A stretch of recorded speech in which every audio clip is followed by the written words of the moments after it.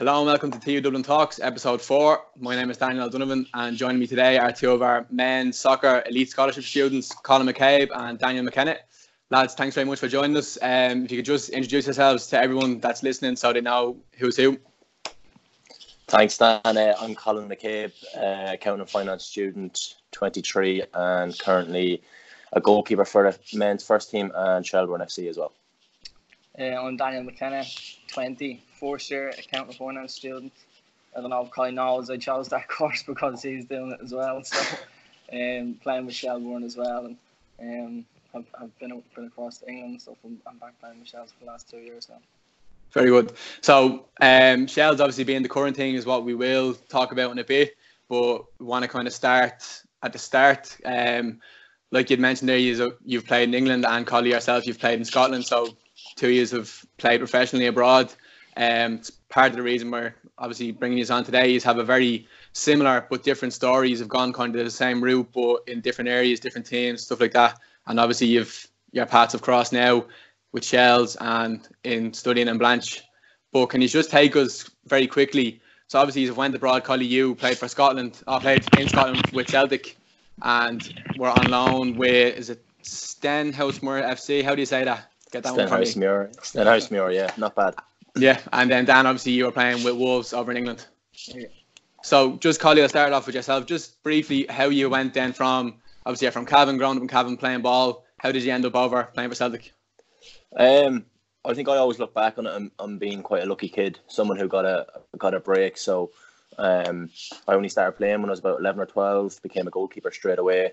Uh, played Kennedy Cup. Played three games out of six there got spotted. Um, played the Hibernia Cup in Dublin straight after the Kennedy Cup with Celtic, and I kind of, I guess from there, just kind of snowballed trial after trial. Um, I knew at 15 I'd be leaving at 16 to go abroad, so um, it all pretty happened pretty quickly. Um, and I suppose I just took it in my stride. Didn't really know what to do. Not many people from Cavan really get the opportunity mm. to to kind of go across on trial, or so it, it was new to my family, new to me. Um, and I suppose it's probably something I will always look back on as a as a fond memory. Um, and like I said, I think I was just lucky and someone who got a break in the end. To be honest. Yeah, certainly starting eleven or twelve. That is quite late, but you must have obviously played something. Being from Cavan, pretty gar playing beforehand, would it?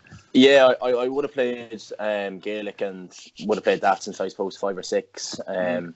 and I would have played out the field, so it would have kind of maybe decent, maybe high balls and catching, using my hands and stuff. And then um, yeah, I suppose that probably stood to me when I went in goals in, in, in soccer, as I like to call it. And uh, uh, from there, I suppose, like I said, I always had the height, so I think the height kind of worked in my favour.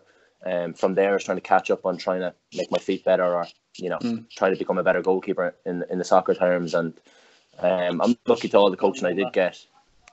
Yeah, exactly. Yeah, exactly. Still, still trying to catch up but no, it was good. Like you know what I mean, and, and I, am I'm, I'm grateful for my GAA background that kind of stood to me. Um, and I suppose the physical physical environment of the GAA stood to me as well when I when I did, did start playing soccer as well and taking crosses and all the rest of it. So all yeah, good. I suppose for anyone that doesn't know, Colin is six foot six. Am I right? Yeah, six foot six. Yeah. So obviously our resident big man, um, which makes it a bit easier, kind of as you said, coming for high balls and stuff like that. Um, we'll switch over to you, Dan. Obviously, you said you played for Wolves. Um, just talk us through your skill by football and how you got across the water.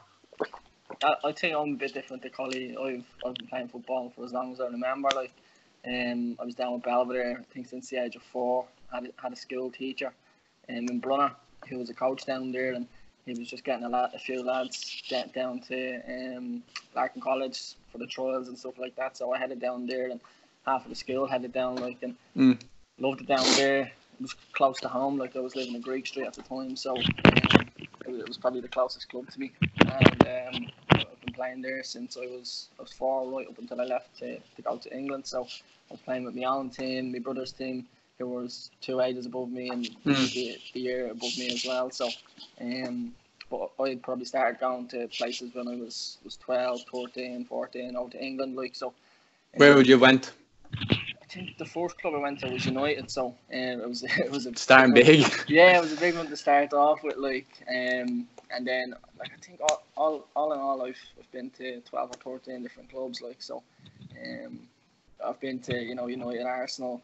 Arsenal was probably one of my favourite. You know, that's the team we support and stuff like that. So Mm. it was uh, it was great experience driving around, around with Liam Brady for the day. Got to meet um, Ramsey, a few lads who are they actually had a Champions League away game when I was over there. So just the injured boys that were left back in the training ground. So but I got to do a one-on-one session with Liam Brady, and you know stuff like that just sticks with you. Um, Yeah, that's class. yeah, but it wasn't until like I, I was I was probably in Wolves when I was 13, 14, and then um, after the Galway Cup, I think that's sixteen maybe. That was the the second or third time that I had went back over. Like, Mm. um, I think plans were to sign for Everton, and then that didn't that didn't happen. So I had went back over to Wolves again, and I was just like straight away, this is this is the club for me. Like, and um, I think I was over there, had some food and done, done training session. And I was like, yeah, like this is this is it. Um, and then I think I went back over two weeks later and signed up with them. So I knew it exactly like Collie when I was 15. I, I'd be moving over at 16. Like so, um, it was a good process. Like I think as a kid, you know, I'm in sixth class and I'm getting off on a tourist day to to over to England to try, to train with these teams. You know, probably missing the test on a Friday or something. So um, I did miss a lot of school days, but you know the skills and the teachers and the family, everyone was so accommodating to that. So um, it was a great experience as a kid. You know, that's the stuff. That's the stuff you dream of. So Yeah, definitely. It's what we all want. Yeah, yeah it, was, it was a great experience. Everything was. So. As you're saying, 16, obviously, that's very young. Obviously, making those sorts of decisions, you probably wouldn't have obviously had full autonomy over that. Your parents and all would have had a big part to play. Um, what, like, obviously, what was the, not when you've made the decision then, like, for Colin, it's like you, you're talking to your parents, like, right, Celtic is the right place. So for yourself, Dan, saying it's Wolves, like, um, how important were your parents in that kind of decision making transition to go across and deciding to let their, their young son leave the country to go play football somewhere else? Um, well, I think for me, I- can always remember the day when my parents got the phone call and they sat me down and they're like, "Look, we're after getting this phone call. We want to know what you think about it." And my first reaction was, "Well, I want to go." Like there was no doubt in my mind that I wanted to stay and do my leaving cert or whatever. So I think my parents were maybe maybe my dad was living his dream through me. So my Mm. dad was first of all quite willing to allow me to go and and uh, quite supportive, I suppose, of, of really me leaving the house and being the youngest in the family and the first to leave the house and go away.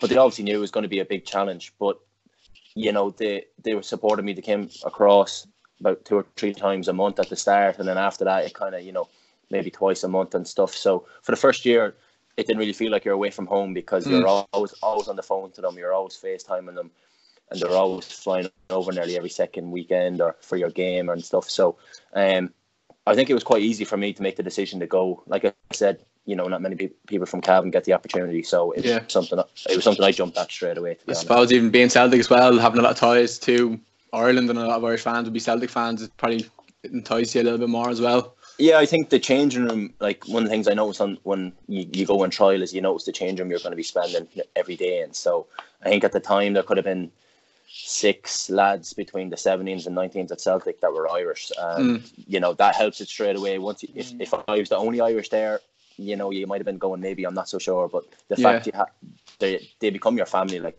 they become your brothers. So um, that also made it, to be honest, it's quite easy to, to, to settle in at the start. Mm, what about yourself, Dan, making a decision to go across the water away from family and stuff? Um, I suppose I was a little bit different in the sense that I was lucky enough to have some options, and um, I've been to a lot of places. So um, my man was very like, look, I know you're young, but at the end of the day, you've been to these places and you've got the feel for, like Collie said, the dressing rooms and. Like only you know where is best going to suit you football wise. Mm. Obviously, she, like she doesn't play the football, so she doesn't know where it's going to. She she can um, advise as much as possible, like, um, and that's what I had a good friend Shane Supple as well, who who uh, along with my mum ad- advised very well. But at the end of the day, left the decision down to me. So, um, they, they were good in that sense. But it is a big decision you have to make when you're when you're such a young kid, and um, you have to factor everything in, like opportunities, you know, like friendships and stuff like that. At Mm. the end of the day, you're gonna you're going over there as a 15, 16 year old. So you want it to be as easy as possible for you. So as Colin Mm. said, you know, having having some Irish connections there, and at Wolves there was a lot of Irish lads as well. So who, who I'd still talk to nowadays. So um, it's good to have that, that connection with them lads. So the, the decision to go to Wolves, like it wasn't wasn't a hard one Mm. for me. It was just look get the junior cert done and then then you can go like so. Um, that was it. I wasn't even thinking of leaving cert or nothing like that. So Yeah. Um, where were Wolves at that time? Because that would have been what twenty. twenty, maybe 2016, 20, yeah, 2016, 2015. I think they were the championship. It was before before the new owners and stuff had come in. I think they had just finished mid-table in the championship um, the year that I signed, and then the next year uh, a little bit above that, and then the new owners came in. Mm. They're. Yeah, and look at them now. yeah, yeah, it's unbelievable. So. Um, talk to us about so like we said, living abroad and stuff. Um, did you live in digs or what way did that work out? I'll start with you, Collie. Yeah, so I went into a house um, where I had two Irish at the time. So um, it was grand. Um, the house was grand. Like they've, they've been doing it for years, so they kind of knew what the story was. They knew that you're going to be, you know, not maybe upset at the start, but you'd be missing home and stuff. So they're quite confident. Um, and the lads were, were supportive. Like, and I mean, like I said, they, they did become like brothers. You're in their room. You know that made it easier. You're always going out. Maybe if you're passing time by playing pool, playing golf, going to the cinema, going to the shops, you know, Mm. going for food, whatever it was. I think the house really plays a big part, and um, the people in the digs, I'd still be in contact with them now. You know, they're like your they're like your second mom. Like you know, I spent maybe four years in the house, so and especially at that age, they understand a lot. So, um, and again, like the two lads, especially one of the lads anyway, he he'd be like a brother to me. So, I'd still stay in close contact with, with both the digs owners and, and the people in the house as well. Yeah, just for people that don't know what digs are, like it's a like a house to go over and live in while you're like part of the club if it's Celtic or Wolves or whoever. Um, just anyone like someone know what they are. Um, what about yourself, Dan? Were you and digs over there? Yeah, I'm the exact same as Kyle. I'm still in contact with my Digs people, and uh, when I first moved over, there was uh, one Irish lad in there and two English lads. Usually, they only take the Irish lads in uh, in the house in my house, um, and I think they were three to three of them were older than me. So when they sort of moved on and went their own way, like it was me then. I was the oldest oldest lad in the house, and Mm. um, two, three younger Irish lads came in with me. So um, I saw I had the role to play that. You're the big lads- brother then? Yeah, that them lads played. I was sitting at the top of the table. Then, but yeah, like Collie said, I'm still in I'm still in contact with um, my Digs people. So always sending them WhatsApp videos and stuff like that, and um, keeping close contact with them. Like we man had our had our birthday party there uh, a few months ago, and they came over, flew over for that. So um, it's just nice. It's just connections that you build with Mm. people, and they just last forever. Like um, Yeah, it is. It's, it's lovely to hear about because obviously Yeah. we anyone that's been involved in sport in general or football, like in team sports, and you know like what it's like to build up relations with people and how powerful sport can be. But the fact that it's people from different countries and you're still in contact and you still get to see each other, that's great. Um, want to move on just a little bit. So sticking with the whole digs thing, obviously you're living abroad and I know it's like you haven't a family, but do you have to kind of do you have to grow up a bit? Like you're you're just gone 16 years of age, you're living in Scotland or you're living in uh, England. Do you have to do a bit of growing up? Um, uh, uh, funny enough, Kylie still has a lot of growing up to do, but you know what I mean. I had I had I'll everything never done grow up. from me. One of the funny stories I have about growing up was uh, I think I was in full time training, so I'd moved over in, in the January at the turn of the year, um, and it could be like February time or something, and we're doing training um, on the pitch, and I'm still thinking about my calf and training, like you know what I mean, where you're not really listening to your coach or whatever, like you know what I mean, and uh, the coach was the coach was um, at Celtic now was speaking at the time. He was he called us in. We were doing tactical talk about whatever could have been a game we, we had coming up, and a plane flew overhead. And instead of me listening to the coach, I just looked up like, and I was in direct line with the coach, so I just looked up and looked at the plane, and my coach um stopped what he was saying, and he goes, "Colin, that's a lovely plane, isn't it?"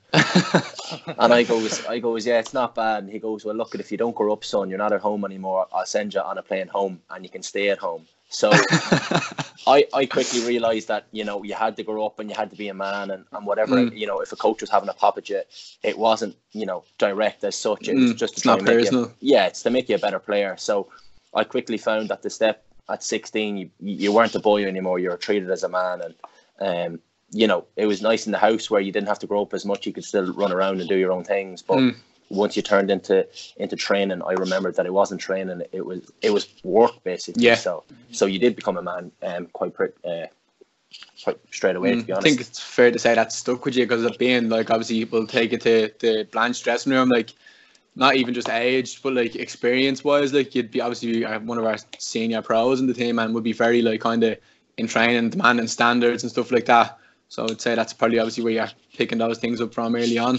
Absolutely, like they're, they're little things that you learned from from day one, and you know what I mean. You had to bring them with you every day, and they were always kind of looking at your your attitude or your, you know, whatever mood you're in. Like you know what I mean. Never mind mm. just your training. They're always looking for, I suppose, then clubs are investing money in you, so they're looking just for you know not just for an athlete, but they're looking for a person on and off the field, and mm. they're, pro- they're probably things I've you know like Dan, he's learned things, life attributes that you're going to bring on for the rest of your life, and you know that's why you you have to kind of pick up these things along the way.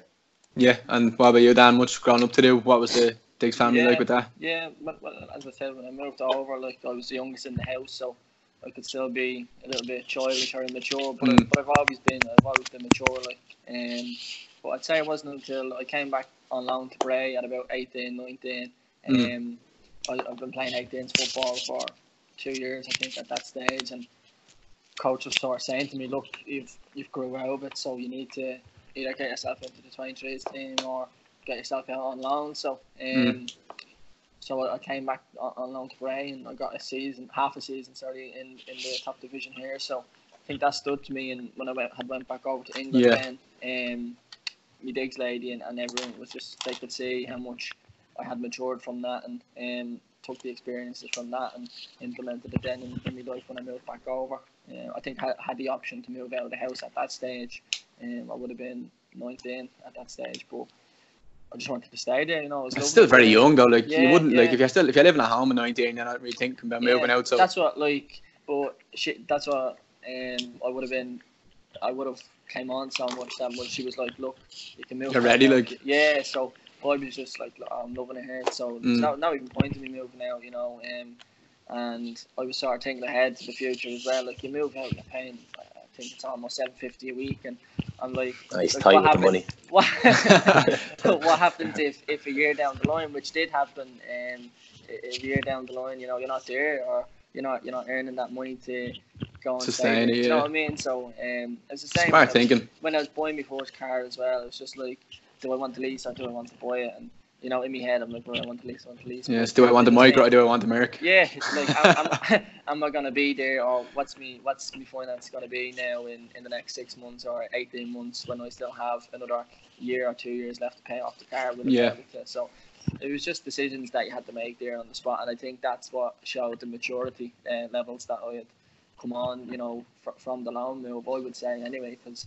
when I moved back, it was like, um, everyone's in work. I'm not in work. I'm not training for night time with Bray, so had so much spare time to myself um, during the day. You know, all, all my friends are in work or in college or whatever, mm. and you're sitting at home and you just need to make the most of that time. So I'd say that that really benefited me.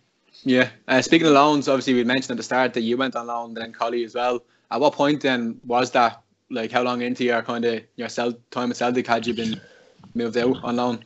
Um, I think I was just gone eighteen, and uh, I remember there was a game on a on a Friday, and this was for the Celtic reserves or twenty threes. It was. It's kind of the same thing. Mm. Um, and I didn't play, and I was kind of thinking to myself, why didn't I play? Because I kind of been playing the last couple of games before that and the goalkeeping coach pulled me in the warm up and he's like, Look, I got a phone call today.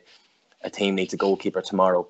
Um, I've thrown your name in there. I want to see what happens, so I don't want to play it today. So mm. over the next couple of hours, I got a phone call saying I was going on unknown to a team called Stenhousemuir. Didn't and did you, know, did, yeah, know nothing about them, like no, no, no, literally knew nothing about them. Um, didn't even know where it was in Scotland. Didn't even know what league it was. So it was League One at the time. Mm. Um, and I think there were like there was ten divisions or ten teams in the division. They were something like eight, and they were playing uh, the team who was first. So I was kind of like, Jesus, a baptism of fire here. I'm going to get peppered. So uh, I went in, met the manager before the game, and he says, "Look, there's no pressure on you. You don't know any of the players. Just go and do what you do. You're blah blah blah coming from Celtic, so you're going to be all right. You're going to, it'll be okay for you." So um, we got beat. We actually got beat something like four 0 I got, I got I got man of the match, something like seven saves. What? It could have been. It could have been about. It could have been about ten 0 or something. And then the manager, the manager was like, uh, "Look, at like you know, you've done very well today. It wouldn't have been easy for your first Metons game." And a bit like that, I kind of knew from then that um, it was an emergency loan. It was only for a month because all yeah. our keepers got had got injured. So it was four. It was four a month. So I had three games, but I knew from then that I didn't want to go back and play mm-hmm. reserves for Celtic. I knew that I wanted to play the, the two next games and hopefully extend it till the summer. Mm. Um, and, and that's what happened. So I was kind of it came out of the, it came out of the blue. I didn't know nothing about it, didn't know nothing about the team, but it was to be fair, it was a bit of a blessing in disguise because I think that kind of at that stage maybe maybe another step up in, in maturing and and maybe when you go to these pitches or stadiums or whatever, they're not as good as Celtic or the facilities mm. elsewhere. So again, you're kind of learning a bit more about yourself and and bringing that to the pitch as well. Yeah, um, obviously like the stats on people that go over and stay over, it's mad. It's like ninety five percent of people do come home. Um, but obviously like it takes a lot. I know these are only 16 and whatever, but like to be noticed, there's so many players in Ireland, there's so many leagues, so many teams that like it obviously is obviously something to be very proud of. Um, obviously you spent a couple of years over there. What would you say if you had one thing to pick would be your highlight of your time in Scotland or in England? I'll start with you, Collie. Um, to pick one highlight, Jesus, I don't know. Um, I, I suppose it's probably the friends and the people that you meet along the way because I personally probably wouldn't have spent five years over there if I didn't enjoy it. And what made me enjoy it was the people, the environment, the city. Um, you know, if I went over in the first six months and hated the managers, hated the teammates, mm. hated everything about it, I wouldn't have lasted at all. I would have came home.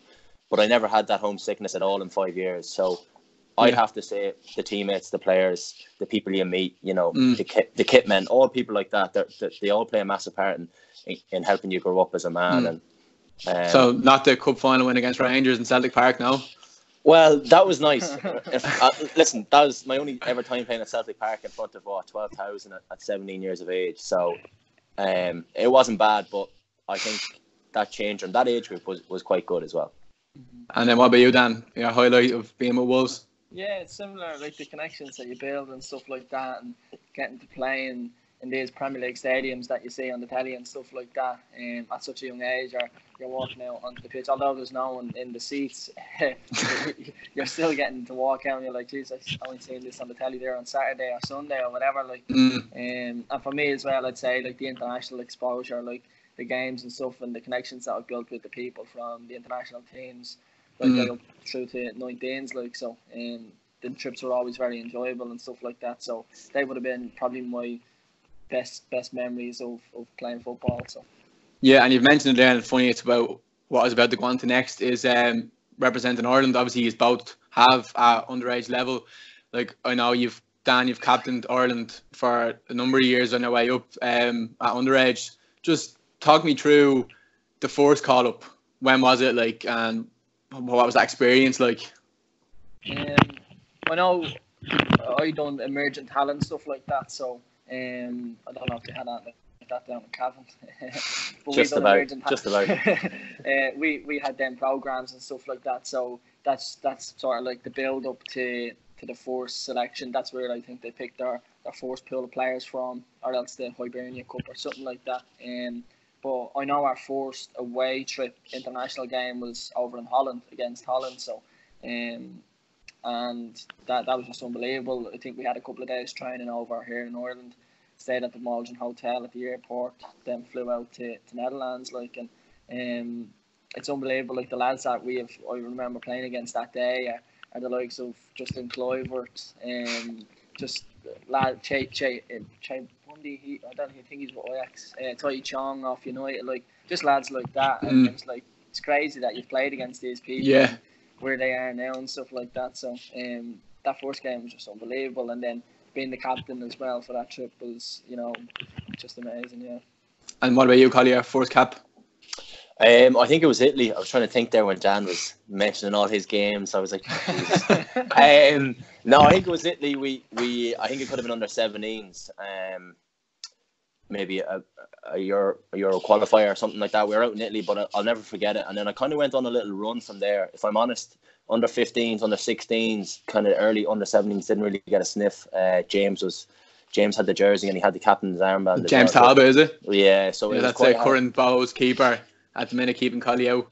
Exactly, and he was training with the senior team last year. So you know, I was in good competition, um, and then I kind of ran under 17s, under 18s, 19s. I, I kind of felt like I started to get more confident and hold my own against them. And uh, Mm. it was kind it was kind of flip of a coin really between the two of us. But I think the first game I got was under 17. So, um, you know, at that stage, you, you kind of had the little, you know, the nice, nicely kind of football underage international football was gone. It was kind of kind of serious. There was the Euro Mm. qualifiers and all that. So if you made a mistake or you know you're a bit of nervous, it, you couldn't be really because it, was it was Mm. big. It was big football. It was big competition.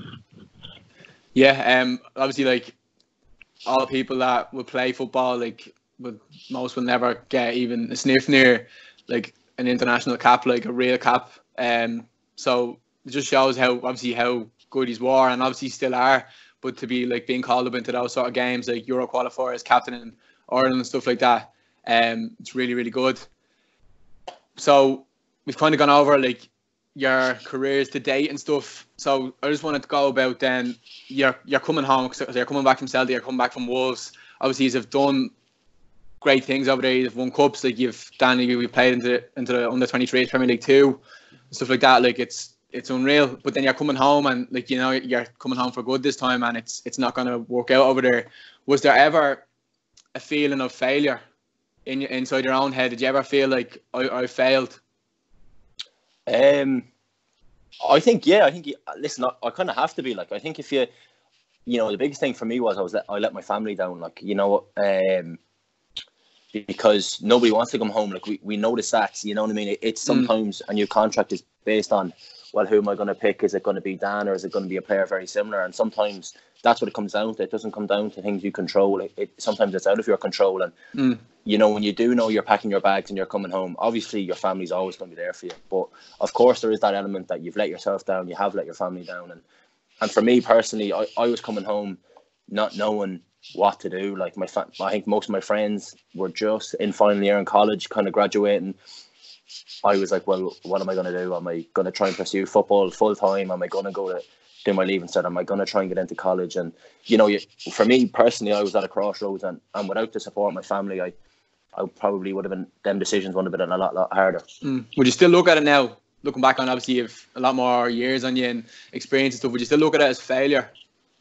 No, I you know, you, listen, you learned a lot, and I always said I was always grateful for the opportunity. But you know, the athlete or the professional and person I am would probably say that there is an element of failure. You know, it's a chapter that is closed, and you wouldn't like Mm. it to be closed. You'd like it to be still open, and and you know, I'd like to be over there playing in front of sixty thousand, or you know what I mean.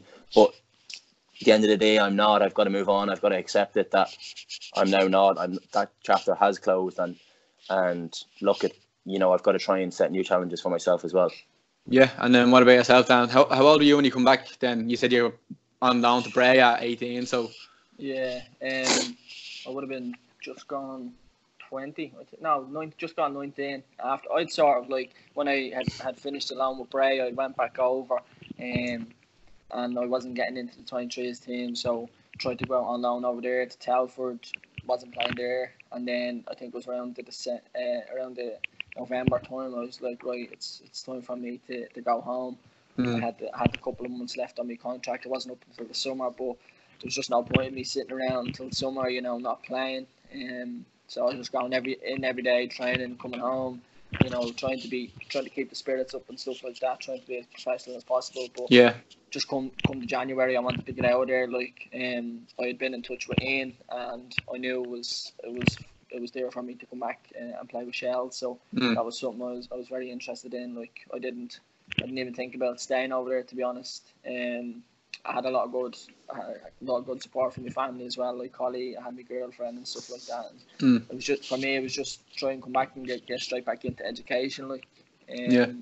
But I think it, it was sort it was a little bit of a feeling of embarrassment. Like you go over with this expectation on your shoulders. Maybe not from yourself, but from a lot of other people. You know. yeah, that you're gonna make it. Like Yeah, you, you've, you've been to probably this club since you're 13, 14. It's like, he has, he has a great chance now. And mm, you, you don't fulfill that. And it's like, but once you get over the, the thing of how, how are people looking at me, how are people, to, like, you just don't care. You, you want to come back, you just want to do what's best for you, set new challenges for yourself. Like, um, for me, it was just get back playing as much football as Mm. possible, get the confidence levels back up, and just get back to to the levels I was at that got me over to there to England. Yeah. So um, and just get back into education. Like that was that was the one thing I wanted to do because um, I was a clever kid, and you know I left after the junior cert, and um, you're over you're over there, and, and you just don't you don't really think about education. It's just Mm. football, football, football. So, um, when it, when it was like coming back, it was just like straight, right straight into education. I done Yeah. so, social science course in DBS, and um, thought that would have got me something in the September time to, to get into college, like, but it wasn't the case, and I was going to have to do like a year PLC or whatever. But Yeah, fair, fair play to Jamie, um, Jamie Moore got me got me into Blanch. So yeah um, pull a few strings. yeah, he pulled a few strings Yeah. and got me in. So fair play. But that's it. It's not what you know, it's who you know, isn't it? yeah, that's it. But it's good like that you do say like that you obviously have value the experience you've had and you can see that you've brought a lot of stuff back with you, so like professionalism and stuff like that. And there's like still have the desire to play. I think like that shows more the character of the two you than anything else. That you didn't just like you see a lot of people come home and some people go on the beer, they they fall away from the sport altogether and like you see people talking say, God, remember that fella, he was gonna be something and now he's not doing that with himself in the sport anymore. But it's good obviously like he used to come home and like I know it's obviously we are 18, like 19, 20 years of age coming home thinking, ah, I've like thrown it away now, like uh, feeling like you're saying embarrassed or feeling like you let a family down. But like honest, like really, you haven't. Like it's such a, you know, now looking back on it, like hindsight is they say it's a wonderful thing that yeah. it's so hard to really make it over there, and you see how like players who probably even have, were better than yourselves or that are like older and better players that still didn't make the cut, and that it is just so hard. Um, but like I said, we've come home now. Collie, you went then and signed for Bohs. Yep. Um, and Dan, you went. You, you mentioned Ian, so Ian is Ian Morris. That'd be the the Shelbourne manager now. Um, at the time though, Collie, when you would have signed for Bohs, Ian was still playing with Bohs, Yeah. wasn't he? So he was Yeah, a yeah. player then before obviously he retired and taken up the Shels job. But just how did you how did you get involved then with Bohs? You've come back. So um, the summer, just a few, a few months previous, I came home and wanted to stay fit. So I made a few phone calls. Uh, to be honest, I didn't know anybody in the League of Ireland, so Mm. it was more through friends and who I knew and who they knew got me into Bohs to keep fit over the summer. Went back over to the UK and nothing happened. So then came back home, got a phone call off Trevor Croly, uh, the assistant manager, and said, "Look, we need a goalkeeper till the end of the season. Will you? Are you interested?" Said, "Yeah." Um, and then kind of went from there. Went on a, another season with them, played a bit more in the second season, um, and then I kind of knew that I wasn't really going to get anywhere with with Shane Supple in front of me. So Yeah, Uh, League of Ireland legend. League of Ireland legend, another guy who trained with Ireland. So I'm uh, been quite stuck in that department. Yeah, The unlucky yeah, that the best number two in the world. exactly. Best number two, that's me. So um, yeah, and then look at the opportunity came about. Um, obviously how football does, you move on. Um, obviously Ian finished up, got the job to Shels and, and rang me and said, Look, will you come to Shels and and be another number two for the first season? So that didn't No, last too long. To no, it didn't- didn't number last one fairly long. quick. exactly. Um. Well, You weren't living in Cavan there. Why when you were with Bohs? Um, for the first part, I was. Um, I was traveling up and down every day, um, and then um, I ended up doing the ETB FAI ETB course in Cabra, um, which I knew nothing about. Just someone again said, "Would you be interested in playing for us?" Didn't even know what it was about. Didn't know you could get. Who in. was uh, running it at that time? Was that Harry Kenny or Harry McHugh? Or Harry McHugh? Uh, sorry. Yeah, um, in Cabra. So done that, and then obviously that gave me the option of education while playing, and then I was in digs then again in Dublin um, while playing for Bohs. So it was all right, not too bad. Yeah, and then Dan, you come back and he said that was Ian Morris who was in touch with you about signing for Shels. yeah. Um, What was that like? Uh, Shane actually, Shane had got um, gave me Ian's number, gave Ian my number, and um, he sort of made that, uh, made Ian get in touch with me and stuff like that. So made that happen. Um, and, and that's when I, as I said, around um, October, November time, I knew it was just right.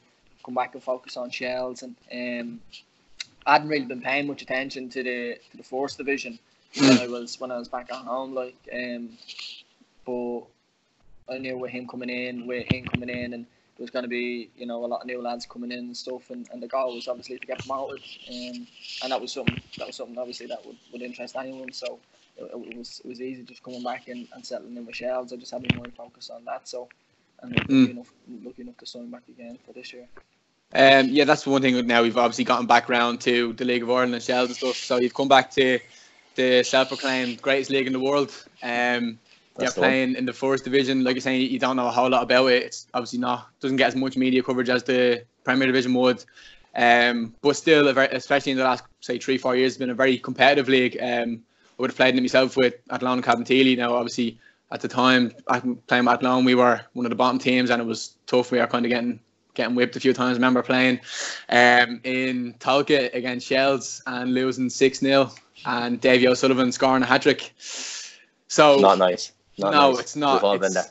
Yeah, um, and obviously Davy being like he's was he did he finish as the top if not one of the top scorers in first division history so um, he would have been at Longford Town first team when I was at their 19s and would have seen him train and play and knew exactly what he was like and Mhm. you're just looking at him there saying I have to mark this fella for 90 minutes now but like I'm saying, the fourth division is very competitive. Um, you have had the the opportunity to play there. Obviously, you're saying, Collie, you come in as number two, and it was Dean Delaney, who another season, obviously season goalkeeper, very good and a lot of experience, who had started off as the number one, but I think it was like two. He had conceded a couple of goals in your first two games. Remember that Galway game, and your man scored a goal from about 40 yards. Like, um, obviously chipped a couple in the first two games, and I know you're never like you're never celebrating stuff like that. But are you kind of looking at that then, being like, right, I think I might have a chance here if I train well?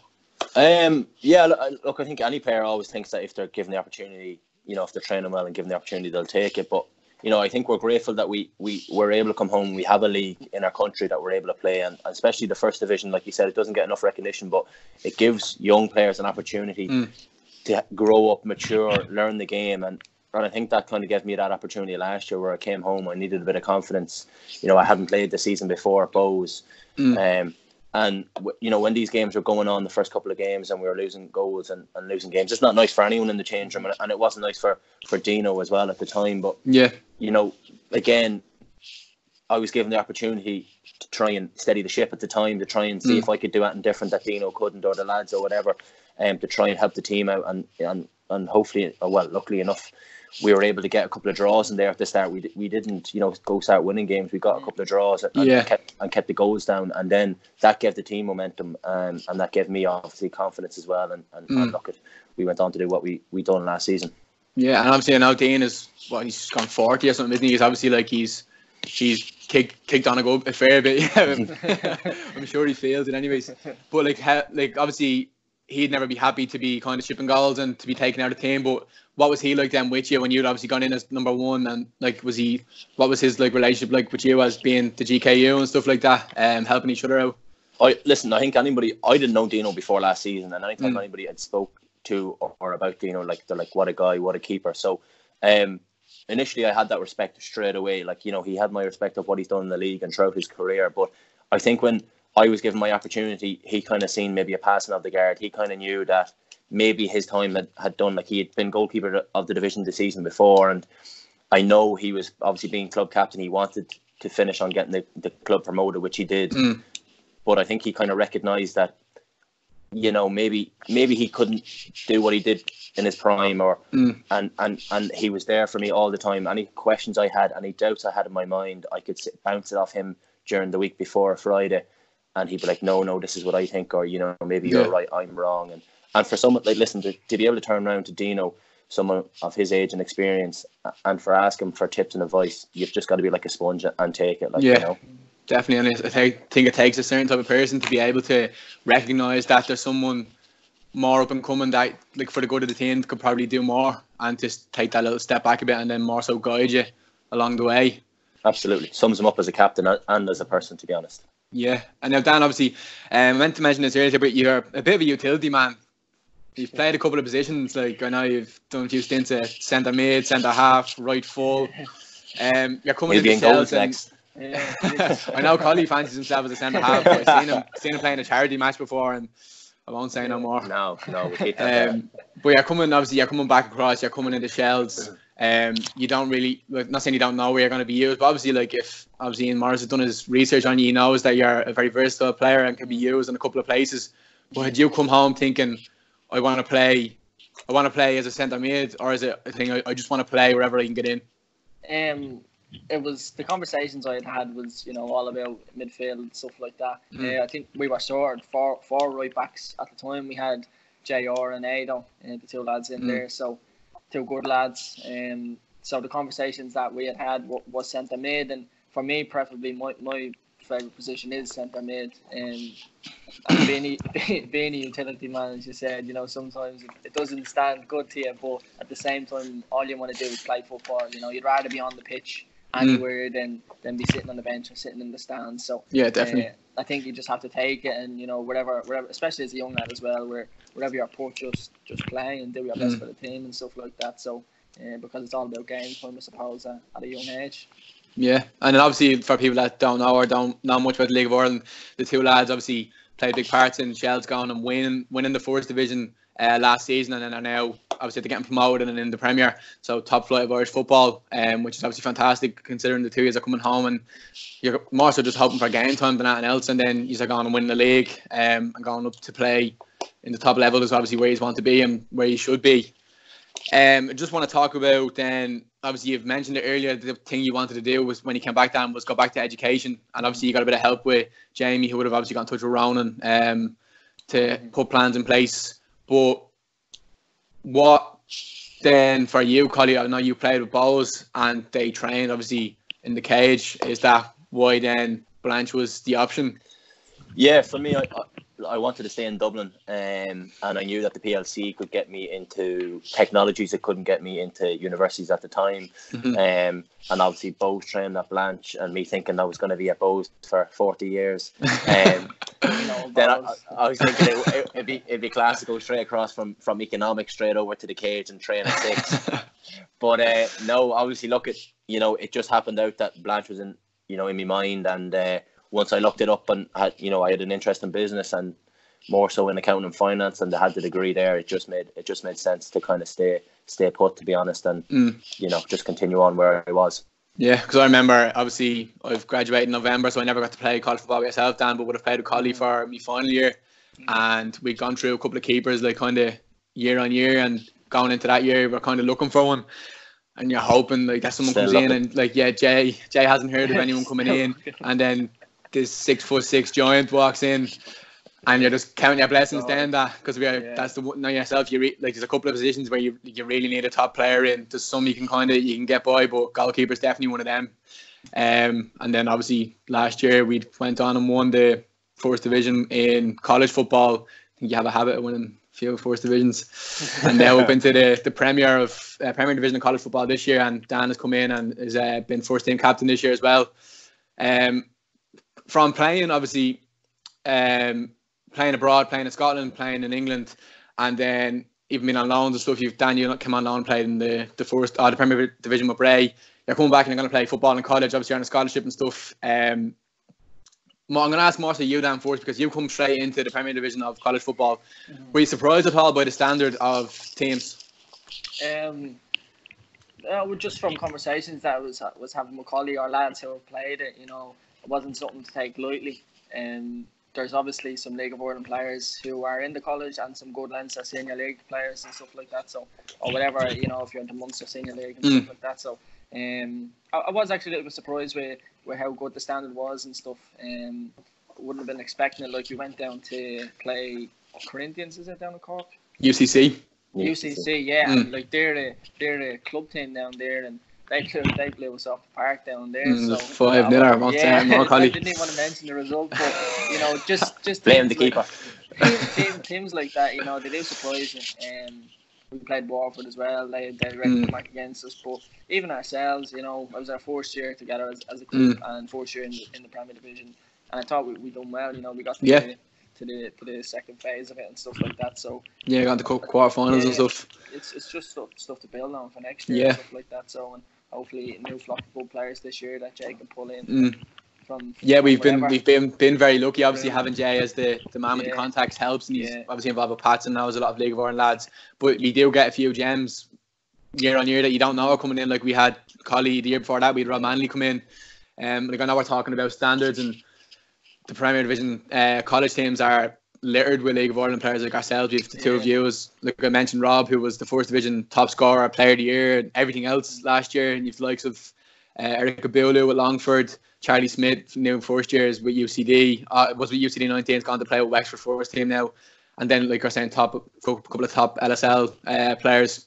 So it is really competitive, and I think that a lot of players, and me and Jamie obviously spoke about it in uh, the podcast I done with him, that players can use it as a stepping stone to find new clubs or just to better themselves, to keep themselves playing at a good standard. If you're between clubs and stuff like that, it's a really good way to get into it. Um, the reason I asked you first, Dan, is because obviously Collie had come in when you come in and played. It was the first division, and obviously without disrespecting it, it's not to the standard where the Premier is, which goes without saying. Um, but I'm sure it was a similar enough for yourself, Collie, that I'd say like, more sort of the standards of what we have in our own dressing room and Blanch probably would have surprised you a little bit. Yeah, I don't think I was blown away by the standard of college football, but what I was blown away by was how, especially you know yourself, the boys in fourth year, how seriously you took it. Like, because yeah, I, I was kind of expecting it. Okay, a grand on a scholarship, you know, it helped me, you know, mm. financially with with college and stuff. But when I came into the change room and I could, I, exactly, I, half a man coming out. but, but I, I could see how, how serious the lads took it, especially the boys who were in final year and they really wanted to win something. You know, they wanted to show something for the four years they had been there. And mm. I was kind of like, well, okay, well, you know, I've kind of got to be respectful to where I am, who I'm playing with, and, and give it my all, and, and you know, treat it as I'm playing in front of sixty thousand, or you mm. know what I mean. So and and look at, I think in any walk of life or in any time you're playing sport, if you win something, nobody asks, you know, what level it was. They just want to mm. see the medal. And you know, last year we won two medals between college and club. So you know, you won't go. You won't go exactly. You won't go every year winning that. So look, it, it was a good year to start off. In. Yeah, definitely. And like we're saying, even you're going into clubs and um, signing for Shels, looking for game time, and you might not be getting it straight away. But then you're saying you have a you have at least one match a week with college, which is yeah. if you're playing if you're playing full games like you, like the two have been, that's 90 minutes a week. Mm-hmm. Albeit like it won't be to the standard of the first division in the League of Ireland, or obviously not the Premier Division, but it's still minutes in the tank. Yeah. And that's what I'm saying. Like it, it's players like yourselves that like are able to have that mindset that goes that'll come in and I'm going to use it to the best of my intentions and get the most out of it that I can, and obviously to help the team as well. Um, and you'd mentioned a new crop of players this year, like we'd said in the one with Jamie. I think it was five of us that had uh, left. I think five graduated and one left. Mm-hmm. So you're you're losing half a team, half a star in eleven. Do you know what I mean? And it's very tough then, straight off the back of a promotion, to be going in losing half your team, and then trying to get new players in and gel and stuff like that. But like we said, we have done very well under the circumstances, getting to first first and foremost securing your spot in the Premier for next year and getting the quarterfinals of the cup in the league. And obviously you're beaten by Carlow in the cup, who then went on to a final. So it's not as if you're you're not getting beaten by the poor teams. You know what I mean? You're getting beaten by the teams that are getting the finals. Um, what I have then, just kind of we've covered a lot of stuff. Um, sticking with Shels, obviously we have we're in this the middle of all this stuff now, the coronavirus, COVID nineteen, whatever you want to call it. Um, how are you keeping ticking? Um, well, we you know the lads were given GPSs at the start to do their running, while I was logging it on my Fitbit as best as I could. So obviously during that they were allowed to travel to to Tolka to update their GPS and, and all mm. their stats. However, now um, within the, the new lockdown and stuff within the 2K, we have um, now an app on our phone that we're all able to map our runs and, and, and put it all together so we can all see that, you know, as a team, we're, we're sticking together, we're all doing mm. our runs. You know, it's not ideal, but we know we have a responsibility to the club and, and to ourselves and to everyone, the fans and stuff, I suppose. Yeah. We're keeping fit as best we can. We're being professional and, and, and listen, whenever this ends, hopefully we'll get back on the pitch as soon as possible. Yeah. Um, obviously then you'd probably have the likes of the video calls and stuff. Yeah. Yeah, we're actually doing one tonight. Zoom, Zoom class tonight. Is that a gym, so, gym session, is it? Gym session, yeah, a, a high intensity class. So um, looking forward to that. have you done one yet?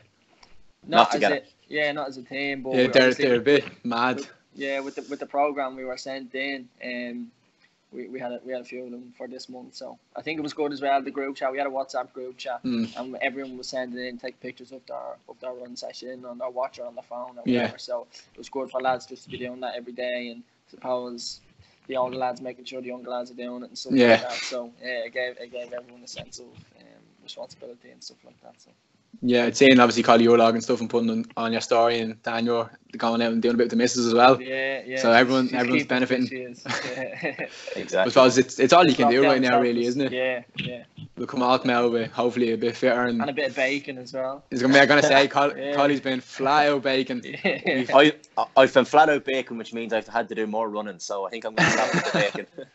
yeah, it's seen uh, Rob Manley a coffee jar. Yeah, was yeah. it cookies and muffins? Yeah, oatmeal, uh, protein chocolate chip cookies. Yeah, so I think he, I think they went down well with him as well. I've had a few now that are trying them. So um, yeah, look, if you want the recipe now, don't be afraid to ask. Don't be afraid to ask. We'll have to get you on the story on the on the blind story to do a little little Ah, Gordon Ramsay job. Exactly, Yeah. Chef McCabe. What about you, Dan? Is it you I miss that does the cooking? Yeah, she does the cooking to be fair, and she's very good. Like every night, you know, she she'll make a dinner. So, um, but it's a good balance. Do the washing up, she does cooking. So Fair enough, fair I- enough. Happy the sous chef. Anything she needs, Yeah. um, well, lads, that's everything I wanted to cover, which is um, obviously is a, a, a very like interesting stories, and like I said, it's it's very similar but different at the same time. Going to do the same thing, but in different countries, different clubs. Coming back then to obviously play ball and ended up in the same league and the same team, and now studying the same course in the same college in different years. He wants It's to be me. Has I Collie helped you out? Cavan man. Has he helped you out? Well, now, like Cavan man. Don't worry, we'll take you down. We'll take. He has actually, you know, some some some of the accounting and the math stuff, but like that accounting is just a new language, and I didn't know, I didn't really know. Like last thing I done was juniors here at maths, and then Yeah. like, coming in and doing maths with Colin McGuinness, and not having a Yeah, I know clue Colin what, McGuinness. What I'm looking at. So, um, but now, yeah, in the library, he's helped me out with a few things. So, um, anything, anything I, I have questions or anything, I just go to Collie with them. So. Now, is it is it good information? Are you taking this and It then coming back, Collie- coming back with D's and F's? No, Collie's got some good results last year. I think most mostly A's and B's and stuff like that. So Mo- model pro. yeah, Ah, yeah, definitely. We'll see in a few weeks' time how I get on this year.